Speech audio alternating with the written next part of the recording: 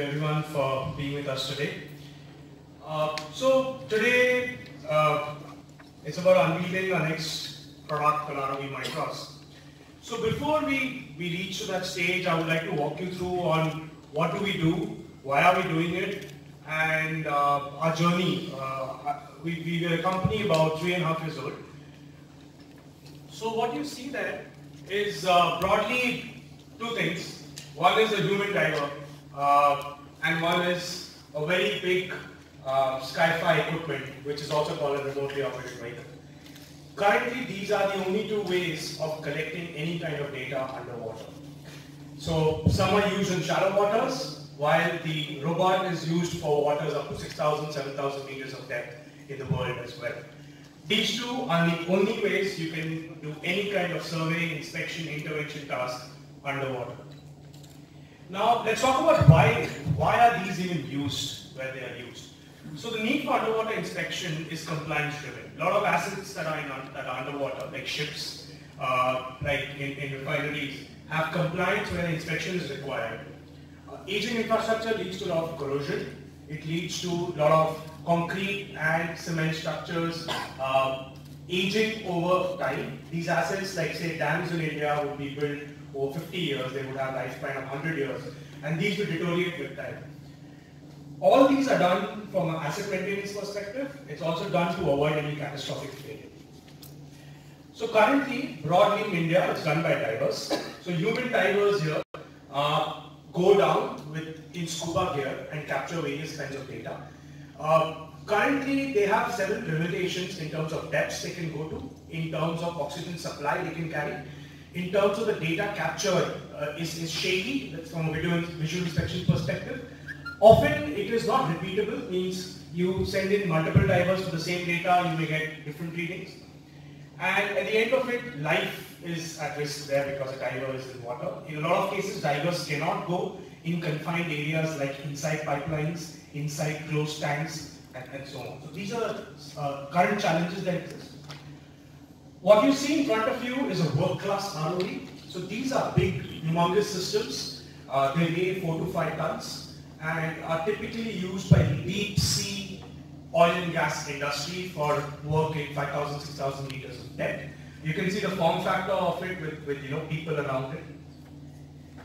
So what led to the founding of Planys? So Planys is founded by uh, five founders. Two are faculty from IIT Madras, from Mechanical Engineering Department, and three of us are graduates from the 2014 batch. So the seeds of Planys were sown when we were students at IIT back in 2012, where we started taking part in various robotic competitions for fun. It was building technology for fun that gave you a lot of creativity. And uh, in June 15, we officially incorporated the company. We were incubated at IIT Madras. There's a very healthy ecosystem back at the research park, IIT Madras Research Park. And uh, so the technology we built, we showed it to the industry and we received overwhelming response of the potential of the technology. So the gap we try to address is broadly where divers cannot go and the big systems are too expensive and not available. So we, we built our first product, Mike. Uh, it was commissioned within one month of incorporation. And this was like the first, first time lab students or faculty were taking a product to the field. There were several learnings, there were several failures, and there were several successes as well. Also, one very important part to note here is it's a very new technology for Indian market. Only the deep sea oil and gas industry is acquainted with it.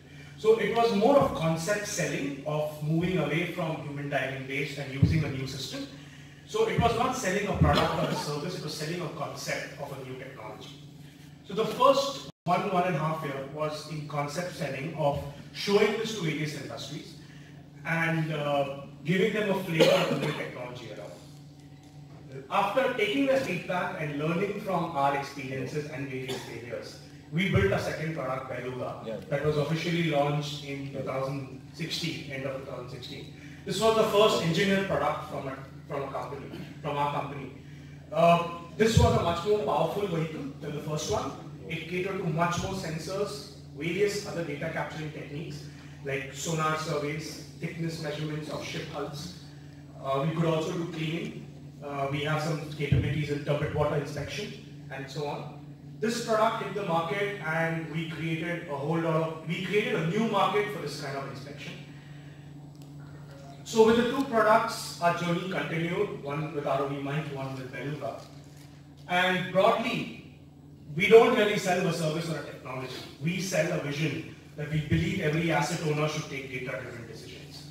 That's the belief we live with, and that's the belief anything we do in the company is, is developed. Technology, a service, and, and so on. So what here do we mean is, we have three ROVs, the third one we'll inaugurate, we'll unveil today. So it's, an, it's for any asset, when, a, when a, any kind of maintenance or repair decision is taken, we believe it should be data driven. You can save money by not doing the inspection because the data says you don't need to do that inspection, or you can figure out that you're going to have a catastrophic failure and appropriately plan when the sun is shining rather than when it's, it's, it's high time to do that. Over the years, we've developed several USPs in thickness measurements, in high-depth inspection. We've inspected some deep dams in India that could never be inspected uh, till now. We've done several sonar surveys, bathymetric surveys that are helping a lot of ports and dam authorities ensure they have enough catchment, catchment area for water. A lot of ports around India have turbid waters. We also develop a lot of indigenous tech where image enhancement is a key driver, which again India didn't have that uh, a uh, few years back, and, and several other intelligence built into it. Now, where is technology is used? It is used anywhere where there is water. There is no only for oil and gas or only for ports. It's anywhere where there is water. We began with ports, shipping, uh, we, we began with oil and gas, upstream, downstream. Uh, we evolved into bridges. We inspected a lot of railway bridges in India, highway bridges in India. India has 1.5 lakh bridges.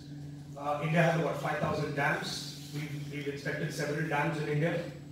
Uh, we've slowly moved on into process industries of power, nuclear, desalination, and, and so on. So it's one platform for several techno for several sectors uh, together. So the past three years have been a very exciting journey. We've uh, so one KPI for us is number of hours of work we do. So we've done about 2,000 hours of work at sea. Uh, we've done about 300 client visits and we have 50 plus users in India, which is, which to us is a very great uh, achievement because when the tech wasn't existent in 2012, it, we are about three and a half years down and we have 50 users commercially using this and obviously a pipeline who would be using it in the next one year and so on. You can see some photographs from the field.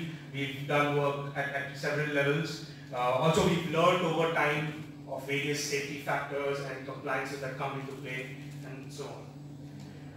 So what started off as a five-member team is currently 55, 60 strong and we're growing very fast. Uh, so we have, our team is a right blend of expertise in naval architecture, ocean engineering, non-destructive testing, and offshore experience. And apart from that, expertise in robotics, computer science, electronics engineering, and so on.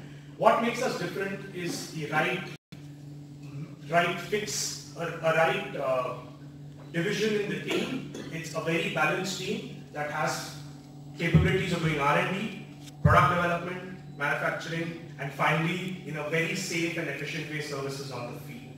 That has been why we have such a large team and why such firepower is needed for a technology company like us.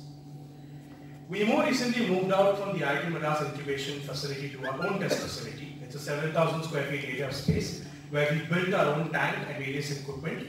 Happy to host uh, uh, uh, members in the audience today or next time in the week to give you a demo, live demo, and show you the facility. And trust me, it will be a very good experience for everyone visiting this facility. So that brings us to the journey. So we collaborated with BP. So BPCL, uh, very fortunate to be identified by BPCL as one of the startups to be part of the startup scheme uh, for Project Ankur. So it was a scheme that uh, was under the larger Startup India scheme by the Ministry of Oil and Gas. And uh, we were one of the first companies to be uh, associated with BPCL in that. And uh, apart from the grant we got, so the association has been for over two years now.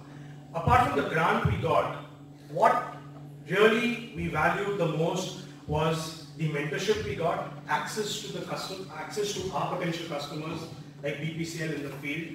We could visit their plants, visit their facilities anytime we wanted to interact, do brainstorming sessions with them on the next step of our technology, where is their requirement, how do we build it for them, and their overall guidance to even for us to make it a business and where, how we should do any of it we do. So this association, today also when we sit with the BPCL team, there are several learnings. Uh, every session there are several learnings and we take it up to the next level. So once again, I would like to thank the BPCL team to be, uh, you know, to honor us with this. And today what you will see is a result with their support that we built for specific industries. And uh, I would like to invite Vineet here to take us through the technology.